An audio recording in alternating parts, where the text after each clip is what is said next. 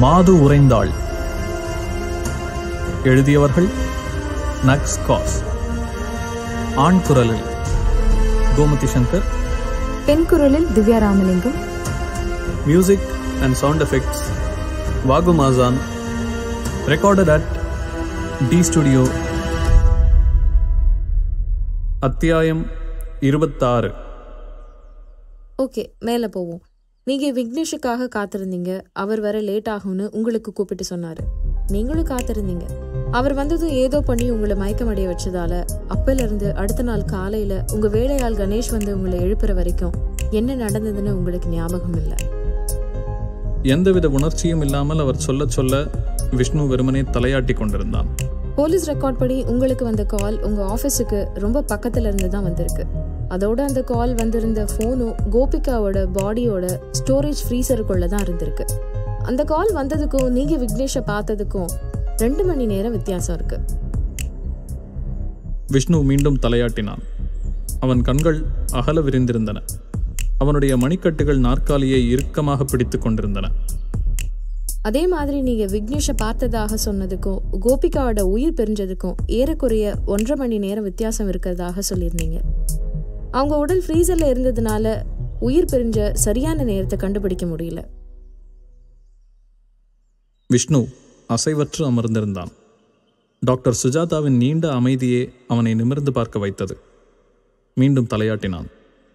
இப்போது அவர் சொல்லும் எல்லாமே நீதிமன்றத்தில் நிரூபிக்கப்பட்ட விஷயங்கள். அடுத்த நாள் உங்களை கணேஷ் தான் எழுப்பியிருக்காரு. அன்னைக்கு நீங்க கோபிகாவுக்கு பலமுறை ஃபோன் பண்ணியிருக்கீங்க. சரியா சொல்லணும்னா டுவெண்ட்டி த்ரீ டைம்ஸ் அவங்க ஹாஸ்டலுக்கு கூட போய் நீங்க தேடி இருக்கீங்க அந்த ஹாஸ்டல் வாட்ச்மேன் முந்தின ராத்திரி உங்களோட தான் டின்னருக்கு போனதாகவும் சொல்லியிருக்காரு. ஆனா அந்த டின்னர் நடக்கவே இல்லைன்னு நீங்க சொல்றீங்க.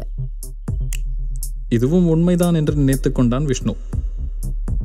இன்ஃபேக்ட் வாட்ச்மேன் கிட்ட கோபிகா உங்களோட டின்னர் சாப்பிட்டுட்டு ஒரு புது வாழ்க்கையை தொடங்க போறதாகவும் ஹாஸ்டல்ல காலி பண்றதாகவும் சொல்லியிருக்காங்க. நீங்க மறுபடியும் ஆஃபீஸ்க்கு போனப்போ அங்க போலீஸ் ஏற்கனவே வந்திருக்காங்க. ஃப்ரீசர்ல அவங்க பாடியை பார்த்து பயந்து போய் தான் கணேஷ் போலீஸை கூப்பிட்டுருக்காரு. விக்னேஷ்னுடையதுன்னு சொல்லக்கூடிய அந்த ஃபோனும் ஃப்ரீசருக்குள்ள இருந்த கோபிகாவோட பாடியோட தான் இருந்ததாக போலீஸ் கண்டுபிடிச்சிருக்கு. விஷ்ணுவின் இதய துடிப்பு எகிறிக் கொண்டிருந்தது. இந்த ஆதாரங்களை எல்லாம் வச்சு பார்க்குறப்போ கொலை குற்றத்துக்காக உங்களை கிட்டத்தட்ட எட்டு வருஷம் ஜெயிலில் வச்சிருந்திருக்காங்க. அதுல மூணு தடவை நீங்க தற்கொலைக்கு முயற்சி பண்ணதால உங்களை தனி கவனத்துல வச்சிருந்தாங்க. டாக்டர் பிரகாஷை உங்கள் சைக்காட்ரிஸ்டாக நியமித்தாங்க ரிலீஸ் ஆனதுக்கப்புறம் ட்ரக் அடிக்ஷன் ட்ரீட்மெண்ட்டுக்காக அவர்கிட்டயே ஃபாலோஅப்காக போயிருந்தீங்க. அப்புறம் அவங்க உங்களை என்கிட்ட ரெஃபர் பண்ணியிருந்தாங்க. டாக்டர் சுஜாதாவின் கருணைக்கு விஷ்ணு எப்பொழுதுமே நன்றி கடன் பட்டிருந்தான். நீதிமன்றத்தில் விக்னேஷை கண்டுபிடிக்க வேண்டும் என்று அவன் கோரிக்கை வைத்ததையும் அதற்கு எந்த ஆதாரமும் கிடைக்காததையும் அவர் சொல்லாமல் விட்டிருந்தார். அதே மாதிரி விஷ்ணுவின் அப்பா நாட்டில் உள்ள அத்தனை பெரிய வக்கீல்களையும் வைத்து முயற்சித்து அவனுக்கு தூக்கு தண்டனை கிடைக்காமல் தடுத்ததையும் அவர் விட்டிருந்தார். அப்பாவியான தன் ஒரே மகன் செய்யாத குற்றத்திற்காக தண்டனை ஏற்பதை கண்டு வருந்தி உடைந்து போன அந்த வயதான மனிதர் அடுத்த சில மாதங்களிலேயே துக்கம் தாங்காமல் இறந்ததையும் அவர் முக்கியமாக விட்டிருந்தார். டாக்டர் சுஜாதா தொடர்ந்தார். நீங்க இன்வெஸ்டிகேட் பண்ண கேஸ்ல ஏதாவது ஒண்ணுல சம்மந்தப்பட்டிருந்த யாருக்காவது கோபிகாவை கொலை செய்யற அளவுக்கு ஏதாவது ஒரு காரணம் இருக்கான்னு நாம தேட துவங்கினோம். அதாவது விக்னேஷ்னு ஒருத்தர் இருந்திருந்தா அவரையும் கோபிகாவை கொலை செஞ்சிருக்கணும்னு காரணத்தை கண்டுபிடிக்க முயற்சி பண்ணினோம். கொலை செய்ய தூண்டுற அளவுக்கு அவங்களுக்கு யார் மேல விரோதம் இருக்குன்னு பார்த்தோம். இருக்கிறதுலயே அவங்க அதிகமா பகச்சுக்கிட்டது அவங்க அப்பா அம்மா தான்னு தோணுது. ஆனா அவங்க கோபிகாவை அவங்க வாழ்க்கையில இருந்தே தலைமொழிக்கிட்டாங்க அதனால அதுக்கப்புறம் பழி வாங்குறதுக்கு வாய்ப்பு இருக்கிற மாதிரி நீங்க எடுத்துக்கிட்ட கேஸ்ல விவகாரமா இருந்த எல்லாத்தையும் அலசி பார்த்தோம்.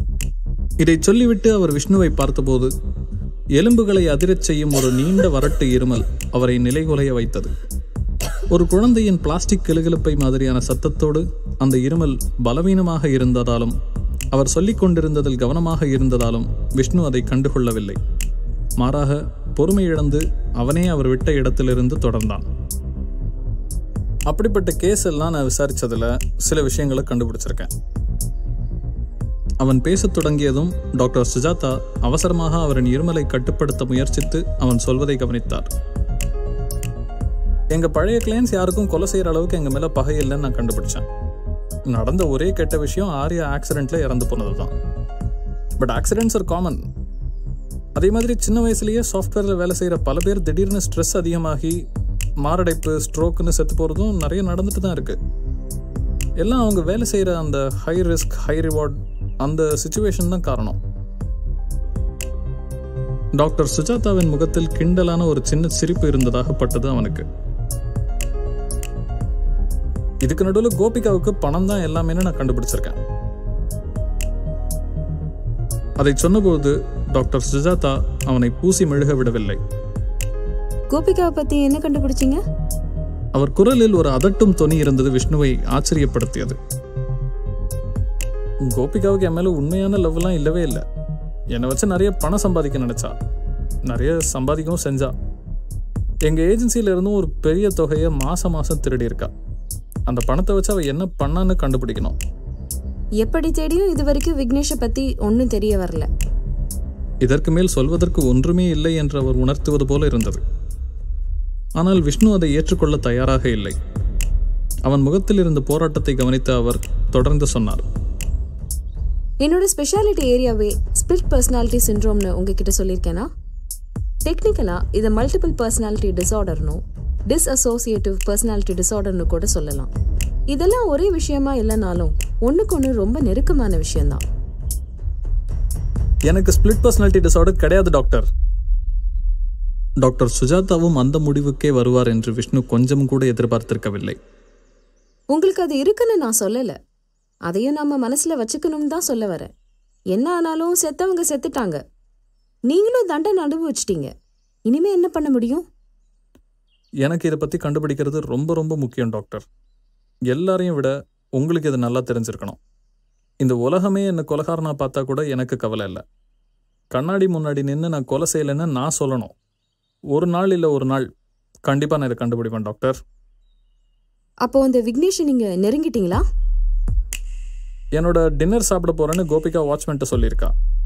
ஹாஸ்டலுக்கு போகிறதுக்கு முன்னாடியே என் கூட லேட் டின்னருக்கு அவள் பிளான் பண்ணியிருந்தா. ஆனால் புது லைஃபு அது இதுன்னு என்கிட்ட எதுவுமே சொல்லலை. அதை வாட்ச்மேன் கிட்ட சொல்லியிருக்கா. ஏஜென்சியிலேருந்து திருடின பணத்தை வச்சு அவளால் இன்னொரு இடத்துல நிச்சயமாக ஒரு நல்ல வாழ்க்கையை ஆரம்பிக்க முடியும். ஹாஸ்பிட்டலுக்கு ஏன் போனா? பிளட் எடுக்கிறது எப்படின்னு தெரிஞ்சுக்கிறதுக்காகவே அவ அங்கே போன மாதிரி இருக்கு. பட் ஏன்? அங்கே தான் எல்லா கேள்விக்கான பதிலும் இருக்கு. அது தெரிஞ்சா ஒவ்வொன்றா தெரிய வரும். முழுவதும் சமாதானமாகாதது போலவே டாக்டர் சுஜாதா கேட்டார். ஆமா அதையும் கண்டுபிடிக்கணும். அப்புறம் அந்த மிஸ்ஸஸ் தேவியும் சஞ்சனாவும். அவங்களுக்கு என்ன? அவங்களுக்கு கண்டுபிடிக்க முடியலன்னு நீங்க தானே சொன்னீங்க? ஆமாம் உண்மைதான். ஆனால் ஜானுக்கும் ஷாலினிக்கும் கல்யாணம் ஆயிடுச்சுன்னு கண்டுபிடிச்சேன். அப்போ சஞ்சனாவுக்கும் அவங்க அம்மாவுக்கும் என்னாச்சு? அங்கேருந்து தானே எல்லாமே தொடங்குச்சு?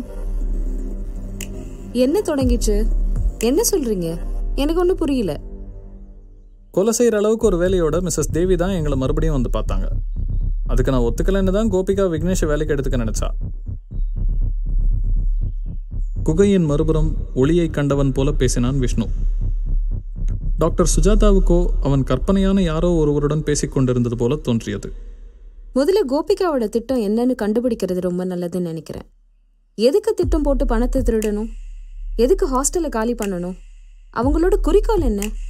அதை கண்டுபிடிச்ச யாராவது அதை பிடிக்காம அவங்கள கொண்டு இருப்பாங்களோ அவர் கொடுத்த யோசனையில் இருந்த உள்ளர்த்தம் தெளிவாகவே தெரிந்தது. கரெக்ட் எப்படியாவது அதை மட்டும் நான் கண்டுபிடிச்சிட்டேன்னா எல்லாத்துக்குமே பதில் கிடைச்சிடும் டாக்டர் கண்முன் இருக்கும் உண்மையை சுத்தமாக பார்க்கவே மறுக்கிறவன் போல டாக்டர் சுஜாதா அவனை பார்த்தார். புலிவாலை பிடித்திருந்த மாதிரி விஷ்ணுவுக்கு தோன்றியது.